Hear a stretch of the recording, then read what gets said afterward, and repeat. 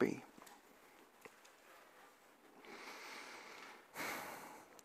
Kære Herre Far, tak for dit ord. Tak, at det er et levende ord, og tak, at du er ordet, Jesus. Jeg beder dig om, at du nu må tale til os ved din ånd, Gud, og gør Jesus stor for os. Lad os få lov at se ham som den han er, korsfæstet for vores synder til frelse for os. Det beder vi om i dit eget navn. Amen. Yes. Dette hellige evangelium skriver evangelisten Lukas. Mens de var på vandring, kom Jesus en gang ind i en landsby, og en kvinde ved navn Martha tog imod ham. Hun havde en søster, som hed Maria. Hun satte sig ved Herrens fødder og lyttede til hans ord. Men Martha var travlt optaget af at sørge for ham. Hun kom hen og sagde, Herre, er du lige glad med, at min søster lader mig være alene om at sørge for dig? Sig dog til hende, at hun skal hjælpe mig. Men Herren svarede hende, Martha, Martha, du gør dig bekymringer og er urolig for mange ting. Men et er fornødent. Maria har valgt den gode del, og den skal ikke tages fra hende. Amen.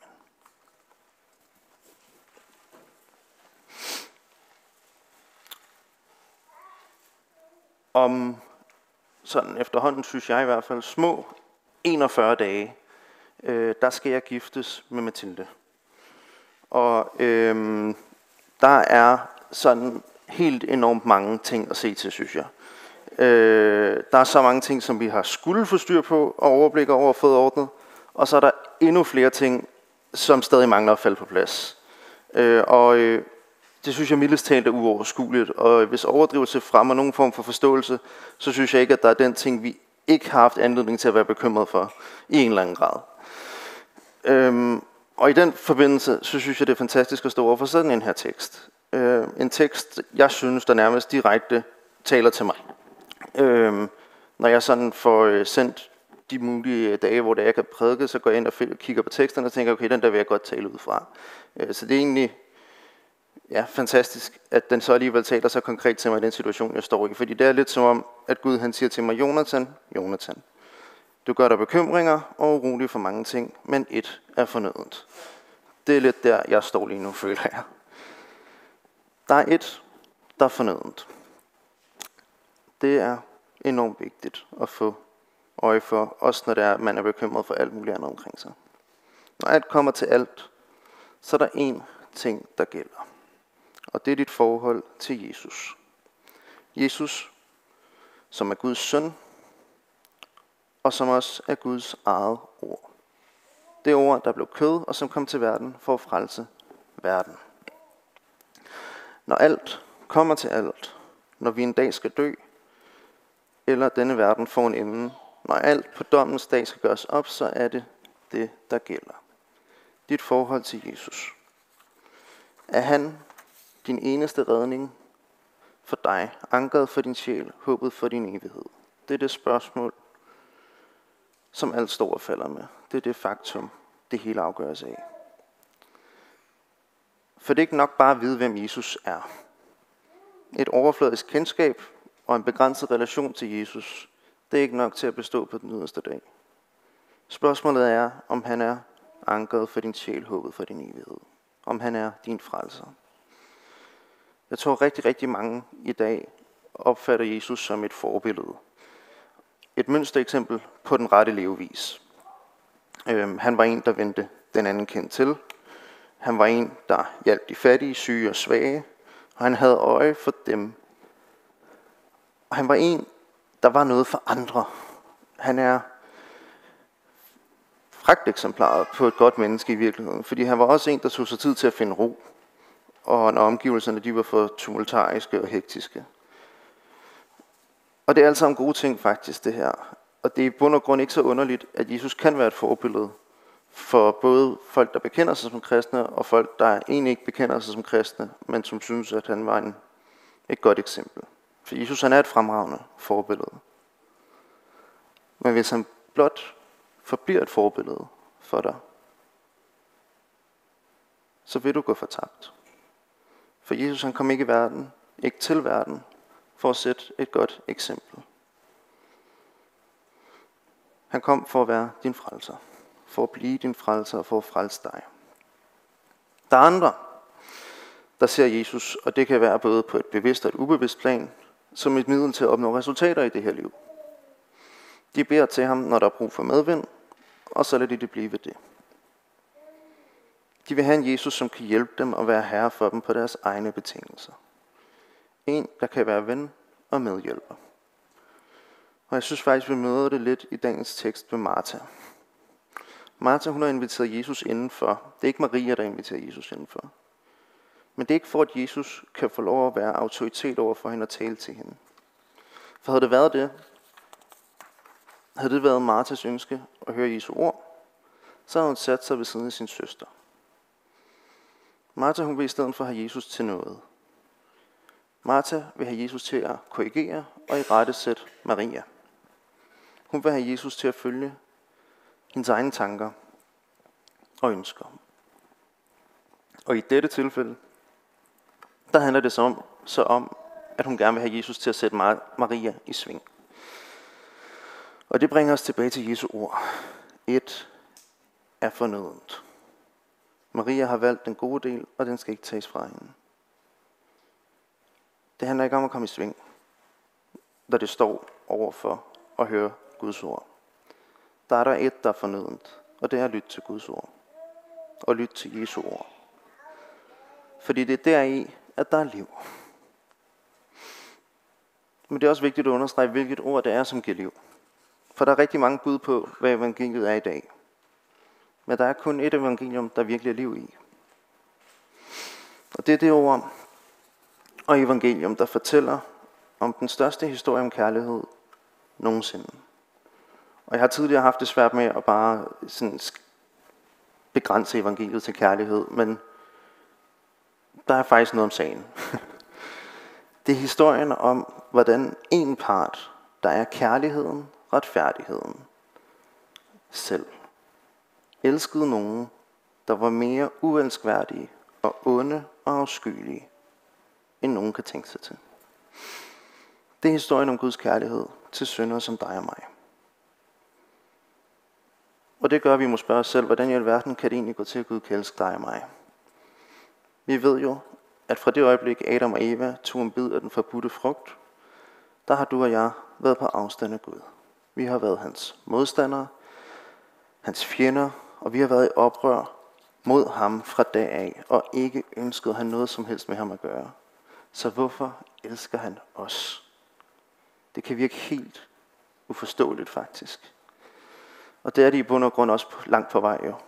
Kærlighed, det er sjældent noget, der kun går en vej. Øhm, I hvert fald, hvis det er en relation, der skal vare ved og ikke dø ud. For en relation, der bygger på kærlighed, skal give mening, skal den jo være gengældt. Og det er den bare ikke i Bibelens fortælling. Og jeg tror netop, vi derfor er nødt til at forstå, at når vi taler om Guds kærlighed til mennesker, så er det en kærlighed, som vi ikke skal prøve at sammenligne med alle mulige andre former for kærlighed, vi kender til. For så bliver den gjort til noget mindre, end den er. Det her, det er fuldstændigt uforskyldt kærlighed, der ikke er gengældt. For den kærlighed, som ordet forkynder om, er en kærlighed, som er større og stærkere og rigere end nogen anden kærlighed nogensinde. For det er ikke en kærlighed, der gør livet lettere. Automatisk. Det er ikke en kærlighed, der automatisk giver dig en god følelse indeni. Det er heller ikke en kærlighed, der viser dig din værdi og din identitet og fortæller dig, hvem du er. Det er heller ikke en kærlighed, der giver dig et nyt ideal, eller en kærlighed, der sætter dig fri til at gøre, hvad du vil. Nej, det er derimod en kærlighed, der som den eneste kærlighed i hele verden aktivt frelser.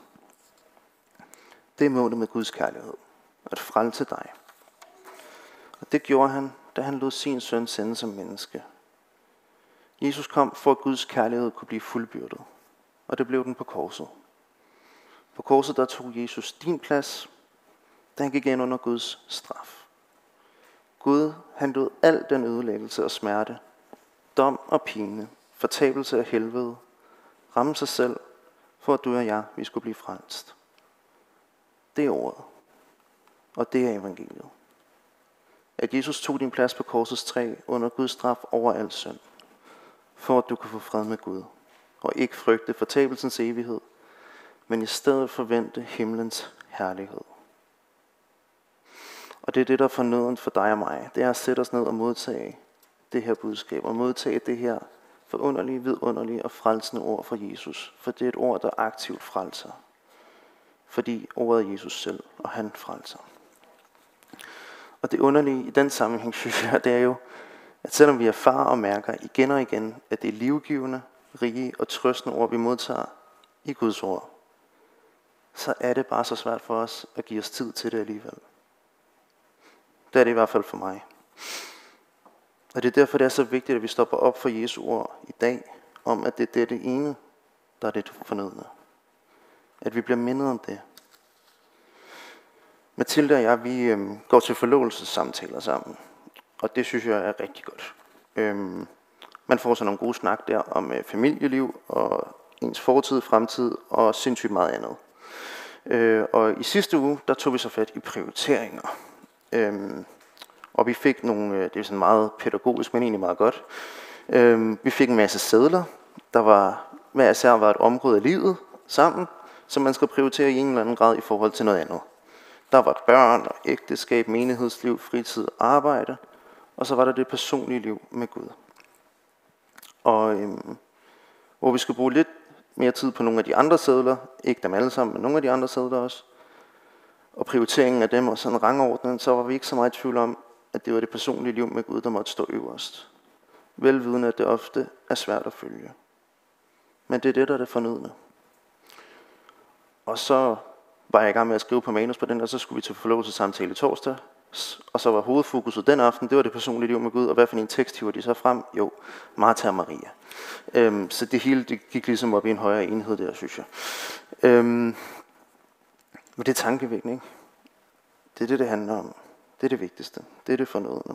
At læse i Guds ord og lytte til det og modtage fra Jesus. Men det er ikke så underligt alligevel, når vi så kigger i Guds ord, synes jeg.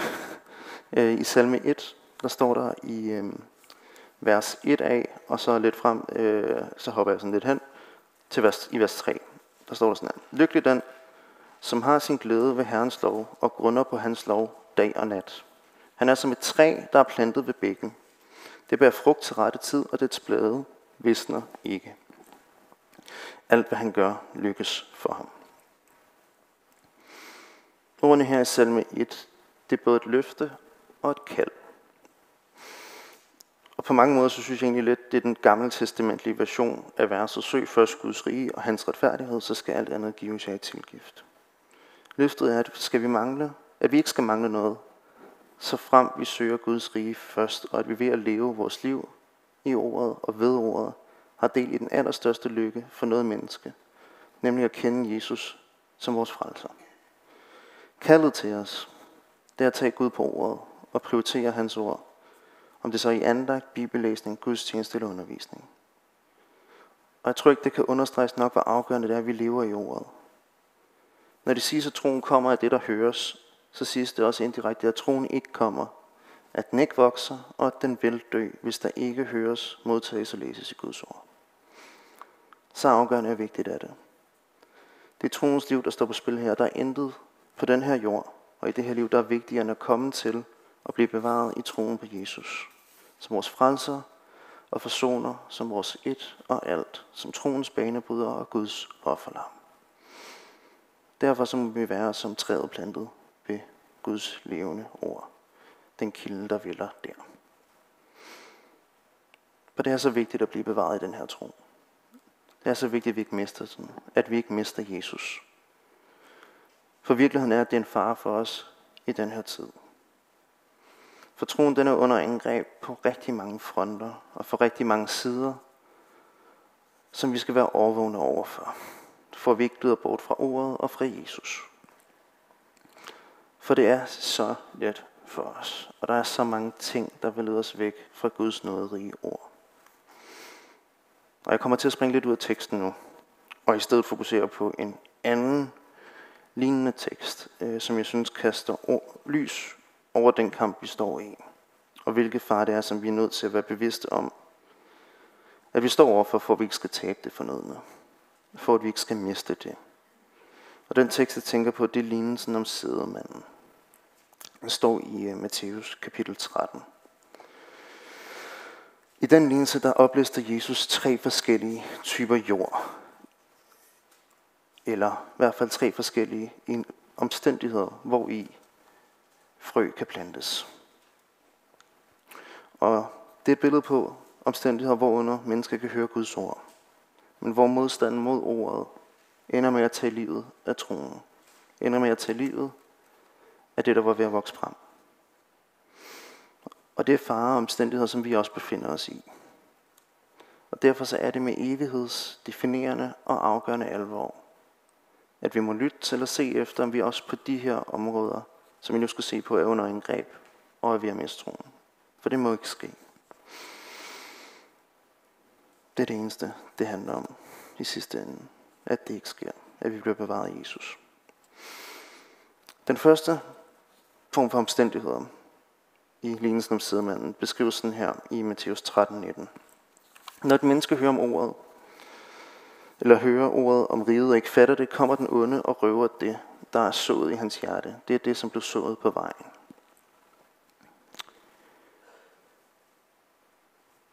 Til de af der ikke kender sædemandslignelsen, øh, så er det Jesus, der tegner et billede på en sædemand, der går ud og sår på sin mark, men også sår forskellige steder omkring den her mark. Og der er nogle steder, hvor at de her frø falder, og hvor at de ikke bliver til vækst i sidste ende. Hvor at der er et eller andet, der slår væksten ihjel.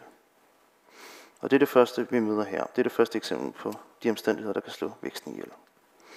For den første trussel mod ordet og vores forhold til det, som Jesus vil, at vi skal få øjnene op for, det er truslen fra den onde. Truslen fra Satan.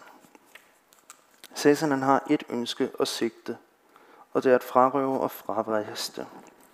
Som mange mennesker, som overhovedet muligt. Troens liv og forudsætningerne for at komme til tro. Og det gør han faktisk aktivt. I øh, det vers, vi lige læste, der står der jo, at den onde kommer og røver det. Det er ikke en passiv modstand, som djævlen har mod kirken. Det er en meget aktiv modstand. Det er en meget aktiv modstand, han har mod Guds ord og Jesus selv. Satan han ved, at det fornødne af Guds ord, at kilden til at komme til tro og blive fransk, ligger deri. Og derfor så er hans mål først og fremmest at ødelægge forkyndelsen om og tilegnelsen af Guds ord. Og derfor så er Satan i åndelig krig mod Gud selv, mod Jesus selv. Og du og jeg, men enten vi ser det eller ej, fordi det er en del af den åndelige verden, vi er også en del af den her kamp, for det er os, som Satan forsøger at røve fra Jesus. Det er vores tro, han forsøger at tage. Og Satans krigsførelse sker på flere områder på flere måder. Hans mest brugte våben og metode, det er løgn. Dem bruger han over for os, når han skal forsøge at tage ordets klare budskaber og evangelium fra os. Et eksempel på det, det kunne være, at Bibelen lærer os, at Jesus han gjorde alt. Det er et faktum. Det siger Bibelen. Jesus gjorde alt for os. Det er sandheden. Og her vil djævlen så komme og forsøge at indføre et men, ligesom han gjorde i paradis, eller et mund. Ja. Men Jesus virkelig har gjort alt. Må ikke det snarere handler om, at Jesus han har gjort 99 procent. Og at du bare lige skal præstere din egen procent nu.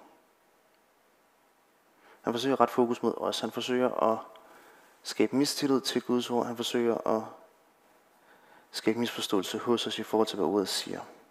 For det er løgn, at Jesus kun har gjort 99 procent. Ordet siger noget andet. Ordet siger, at Jesus har gjort 100 procent for os og frelst os fuldt og helt. Og det er så vigtigt at holde fast i, og derfor så er det fornødent, at vi bliver ved med at læse i ordet, at leve i ordet, for det er der, vi bliver stillet skarpt på, hvad det er, ordet egentlig siger. Det er der, hvor vi kan skænde løgn fra sandhed. Det er dog ikke det eneste sted, hvor Satan han angriber os, og hvorpå han angriber os. Han angriber os også i vores samvittighed. Og det er den samvittighed, som Jesus har renset med sit blod. Den går djævlen efter at bringe ud af balance. Han gør det, når han frister os til at falde i synd. Og hver gang det sker, forsøger han at lede os væk fra det sted, vi som kristne i vores samvittighed ved, at vi skal gå hen til Jesus. Det vil han forsøge at stoppe, og han er tålmodig på det her område. Han leder igen og igen os til at falde i synd. Han holder ikke op. Og han vil meget gerne have, at det er den samme synd faktisk. Så han på et eller andet tidspunkt kan plante et frø af tvivl i din samvittighed. Der rejser spørgsmålet hos dig. Kan jeg virkelig gå til Jesus med det her igen? Jeg falder jo igen og igen, og det bliver ikke bedre. Jeg kan knap nok holde mig selv ud. Så hvordan skulle Gud kunne det? Jeg er alt for syndig til at kunne bede om tilgivelse. Jeg kan ikke komme Gud nær, når jeg er så uren.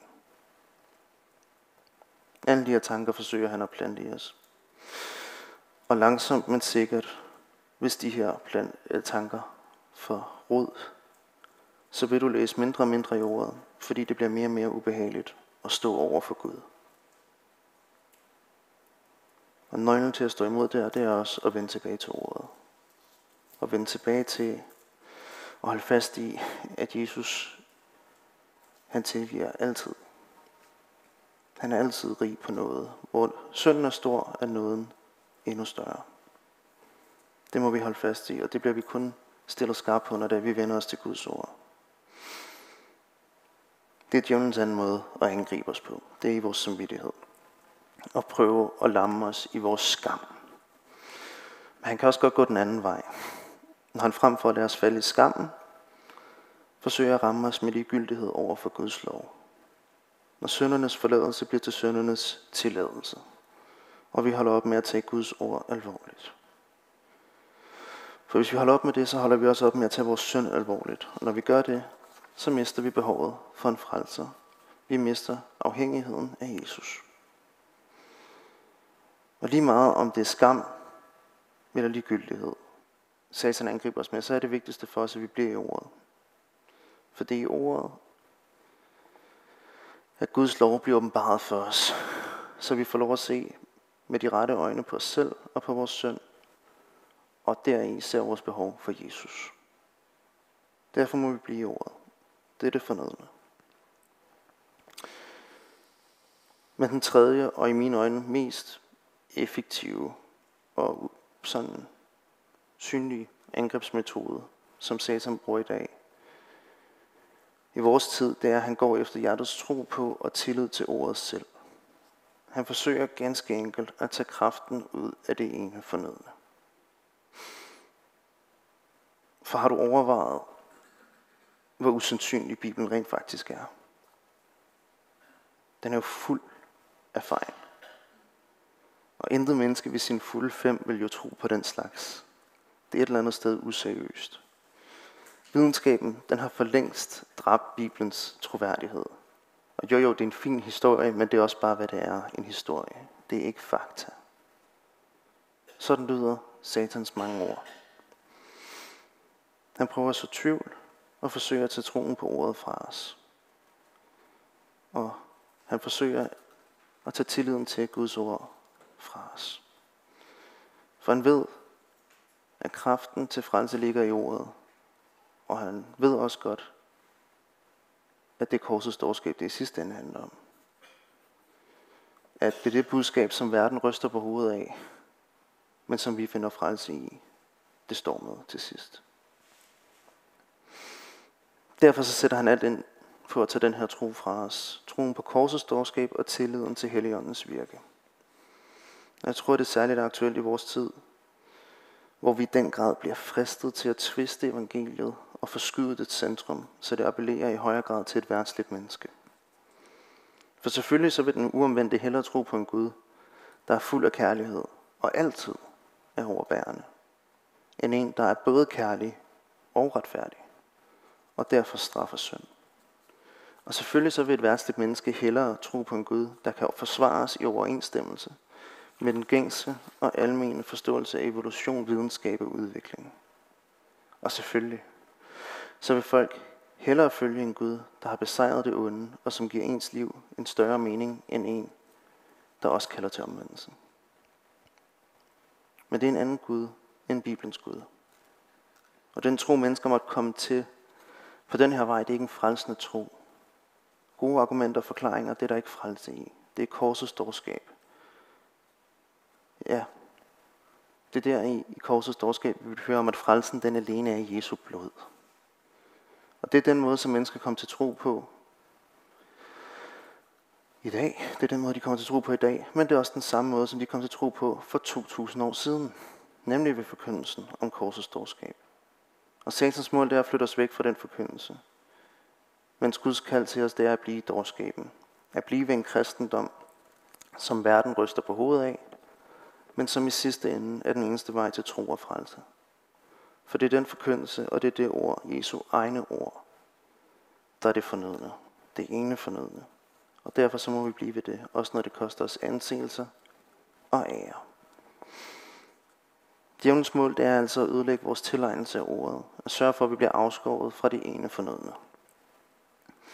Og jeg ved, at jeg her har nævnt mange måder og metoder, hvorpå ordets tilegnelse hos den enkelte bliver angrebet på. Og derfor tror jeg, det vil være naturligt i en eller anden grad at blive ramt af frygt. Men det skal vi ikke. I hvert fald ikke over for djævlen. For så sandt vi hører Jesus til, så er vi i ham og er beskyttet der. Vi er i Jesus. For i Jesus, og grund til det er så godt at være der, det er, fordi vi bliver udstyret med Guds fulde rustning også. Vi har frelsen i Jesus, og vi har også Guds fulde rustning, som vi læser om i Efeserne 6. Og det er en helt prædiken i sig selv at dykke ned i. Øhm, så det vil jeg lade være med. Øhm, til gengæld så vil jeg bare fremhæve en enkelt detalje ved beskrivelsen af den her rustning. Og det er det våben, vi bliver givet. Det beskrives som åndens svær, der er Guds ord. Guds ord. Det er vores våben mod de angreb, vi møder. Ordet holder altså ikke op med at være vigtigt for os, når vi kommer til tro. Tværtimod. Det er det, troen vokser af. Og det er også det, vi forsvarer os med. Og det er derfor, det forbliver og vedbliver at være det ene fornødne. For når djævlen kommer og frister, der må du vente dig mod det, der står evigt fast. Ordet. Når han kommer og forsøger at anfægte dig, der må du læse din bibel. Og når han forsøger at lokke dig til at finde kraft i andet end korsets storskab og Jesu død for dig, der må du stille endnu skarpere på det. Satan han kan ikke besejre Guds ord. Og det er derfor, det er vores våben. Og det er en af grundene til, at det er fornødent for os at blive i ordet. For uden det, så har vi intet at slå tilbage med. Men med det, så kan Satan ikke gøre noget som helst. Den anden beskrivelse af trusler mod ordet i lignelsen her om sædemanden, det står der om fra vers 5-6 og 20-21. Der står sådan her.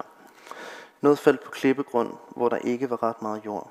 Og det kom straks op, fordi der kun var et tyndt lag jord. Men da solen kom højt på himlen, blev det svedet og visnet, fordi det ikke havde rod. Og så 20-21. Det, som blev sået på klippegrund, det er ham, der straks tager imod ordet med glæde, når han hører det. Men han har ikke rod i sig. Han holder kun ud en tid, og når der kommer trængsler eller forfølgelse på grund af ordet, falder han straks fra. Den anden trussel mod Guds ord, det er denne verdens trængsler, der dræber troen uden råd. Og det er de to ting, som vi skal bide mærke i her. Trængslerne, der dræber, og troen uden råd. Hvis vi starter med at kigge på trængslerne. Som menneske i en falden verden, en verden, der er underlagt synd, så vil man altid lige meget, hvem man er, kristen som ikke kristen, mærkes trængsler og smerte. Man vil opleve sygdom, tab, fattigdom, sult og vold. Man vil opleve bekymringer, og vi ser så mange eksempler på det rundt omkring os i dag. På at vi lever i en verden, der er underlagt synd. Og det er den kendskærning, der rammer alle mennesker, kristen som ikke kristen. Jeg tror samtidig, at man som kristen godt kan opleve at være endnu mere udsat end mange andre. For som kristne, så er der nogle steder, hvor andre går, og nogle ting, som andre siger, som man ikke kan følge efter. Verden siger, at man skal tro på sig selv. Bibelen siger, at vi først og fremmest skal tro på Gud og på Jesus. Verden den fortæller os, at kærlighed er at give tilladelse til at leve i absolut frihed. Mens Bibelen siger, at kærlighed er at adlyde Guds lov. Som kristen, så er man automatisk en outsider i verden. Og det vil man altid. Og det er tungt. Og det er alle de her forhold, alle de her trængsler og udfordringer, som solen i lignelsen repræsenterer. Den er trængslerne. Og derfor så kan man så spørge, er det trængslerne, der er problemet? Vi læser om, at, at solen sveder øh, planterne her, der vokser op. Og derfor så kan det rent visuelt nok se sådan ud, hvis man sådan ser lignelsen for sig. Solen kommer, og spiren dør. Øh, det virker meget lige til. Men hvis vi læser i teksten, er det faktisk noget andet, som Jesus vil, at vi skal være opmærksomme på. Nemlig noget, som man ikke kan se. Og det var det andet, vi skulle kigge på. Det er det, som er under overfladen. Det er spirens manglende rod. Problemet med de frø, der er landet mellem stenene, landet på klippegrund, det er ikke, at solen er der. For solen den er der også for de andre frø, der er faldet andre steder. Problemet er derimod noget, som man ikke kan se på overfladen. Det er det, at de ikke har nogen råd. Og jeg tror, at der ligger en stor advarsel her til os i dag også. For rent biologisk, så er solen nødvendig for, at planter kan vokse. Og jeg tror, det samme gælder for troen. En kristen, der lever med det fornødne for øje, og har en tro, der er grundet for plantet og har rod i Guds ord, vil gennem trængsler blive knyttet til dette ord endnu mere, faktisk. Som der står i Romerbrevet 8, 28, vi ved, at alt virker sammen til gode for dem, der elsker Gud, og som efter hans beslutning er kaldet. Altså bliver trængslerne til vækst for en kristen, der har sin rod i ordet. Men for en tro uden rod, der er solen fatal. Trængslerne, de er dødbringende. Det er de for den tro, der bygger på overfladiske klichéer og kendskab om og til Jesus, men ikke en personlig erfaring af, hvem Jesus er. Det er dødbringende for den kristendom, der fortæller dig, at du får helbredelse, gode følelser og medgang i dette liv ved at tro på Jesus. Det er dødbringende for den tro, der bygger på alt andet end Bibelens eget ord. Det er dødbringende for enhver tro uden råd. Og derfor så bliver det også utrolig vigtigt og afgørende for os, at vi forbliver rodfæstet i ordet. At vi forbliver rodfæstet i det ene fornødne. For det er nøglen til at overleve. Ja, ikke bare overleve, men også at vokse i troen gennem trængslerne. Og jeg synes igen, at versene fra salme 1 som jeg læste tidligere, er rigtig rammende. Lykken det er at være forplantet ved ordets vældende kilde. Der får vi vækst og bærer frugt. Det er lykken. Derfor, for at trængslerne ikke skal udlægge troen, er det så afgørende, vigtigt og fornødent, at vi bliver i og ved ordet, og igen og igen bliver mindet om, at vi Jesus har alt. At vi Jesus er frelst, og vi har fået noget ved ham. Og at når alt kommer til alt, om vi så havde hele verden, så var det ikke værd, hvis vi ikke også havde Jesus. Den tredje trussel mod ordets vækst i mennesker, som Jesus har nævnt i den her lignelse, det er denne verdens bekymring og rigdommens blændværk. Den står der om i lignelsen fra vers 7, hvor der står, noget faldt mellem tisler, og tislerne voksede op og kvalte det. Og så videre i vers 22 det som blev sået mellem tisler. Det er ham, der hører ordet, men denne verdens bekymring og rigdommens blændværk kvæler ordet, så det ikke bærer frugt. Det her, hvor jeg for, for alvor hedder det, synes, at dagens tekst om Martha Maria og Salines nu sidder passer så godt sammen. For det er netop Martas bekymringer og uro, der gør, at hun ikke sidder ved siden af sin søster og lytter til Jesu ord. Og som Jakob nævnte i indledningen, så står vi lige nu i bekymringer til op over begge ører, føler man. Der er energikrise, der er krig i Europa, der er modstand mod kristne kerneværdier. Og der er mange, mange andre ting, der også giver anledning til bekymring for os. Det her det er jo bare noget, der vedrører os alle. Så har vi hver især vores liv med det, der fylder for os. Det er så let at blive tynget og overvældet af bekymringer. Og det er derfor, det er så vigtigt at blive mindet om, at vi ikke skal blive kvalt i dette. Vi må ikke blive kvalt i bekymringerne. For vi skal ikke bekymre os. Det er faktisk et bud fra Jesus. Vi må kigge på markens liljer, og så huske på, at Gud han er i kontrol. At det er ham, der bærer os gennem trængslerne, og ligegyldigt hvad der sker, så er der noget, der er vigtigere. Og det er det ene fornødne, at forblive modtagende over for Jesus, der vil overøse os med sin noget gennem sit ord. Maria, hun har valgt den gode del. Og den skal ikke tages fra hende. Og jeg synes, det er fantastisk, også i en bekymrende tid, og husk på, at det ikke skal tages fra hende. Det er også Jesu løfte til os i dag. Ligegyldigt hvad vi står i, af bekymringer, smerte, sygdom og sorg, så skal Guds ord ikke tages fra os. Det bliver der stadig. Så hvis vi har vores anker der, så har vi faktisk et evigt anker. Et anker, der også står fast i modvind. Et anker, der også står fast, når verden ramler sammen omkring os. Den gode del, der er i lignelsen om sædmanden af den gode jord, men som i virkeligheden jo blot er et udtryk for hjertets tilegnelse af Guds ord. Det sande ord. Nøglen til det hele, til hele vores liv ligger i det. Ligger i evangeliet. Og det er så vigtigt at blive mindet om det, for vi er udfordret og truet så mange steder fra. Og så længe vi lever her på jorden, så bærer vi også på en syndig natur, der elsker at lytte til fristelserne og hader at søge ordet. Og det er derfor, at vi må gøre det, og blive ved med at gøre det. Og pris os lykkelig over, at vi har en Guds ånd, der leder os til ordet igen og igen. For det er ordet, der holder troen i live og giver den vækst. Det er Jesu mest centrale budskab i dagens tekst.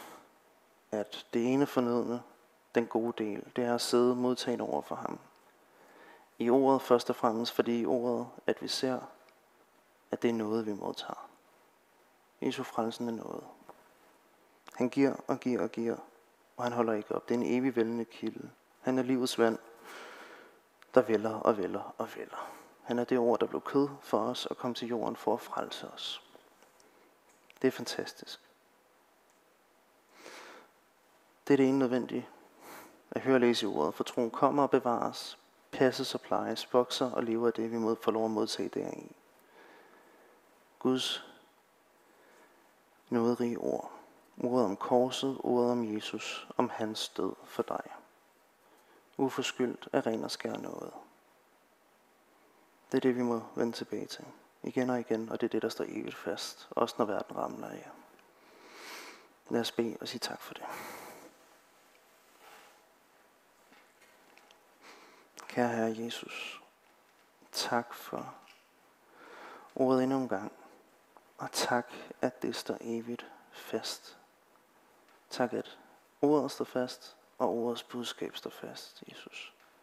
Budskabet om din frelsende død for os. Til søndernes forladelse og evig fred med Gud. Ved din død. Tak, at det er en god del, der ikke skal tages fra os. Tak, at den altid er der, og så vi har vi vores anker der, så har vi et evigt anker. Et anker, vi ikke skal frygte og miste, selvom vi måtte miste alt andet. Bær dig om, at hver enkelt her må blive bevaret i det ord. Blive bevaret i dig, Jesus. Hvor vi får lov at være dækket fuldstændig af dit blod. Før os derhen igen og igen og led os til dit ord, også når det er, at bekymringerne overvælder os. Tag dem fra os og mind os om, at vi ikke skal bekymre os. Du ser det altså lidt for os. Tak, at du også har noget der, hvor vi ikke kan lade være med at bekymre os. Bær om du vil velsigne resten af søndagen for os, og velsigne stedet her fortsat, far. I dit eget navn. Amen, Jesus.